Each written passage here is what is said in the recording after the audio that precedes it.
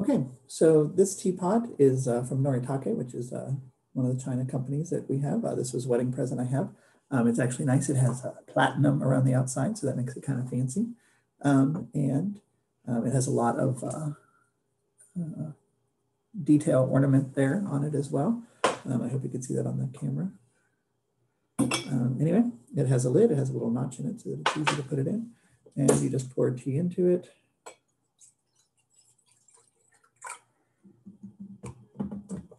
You would let it steep.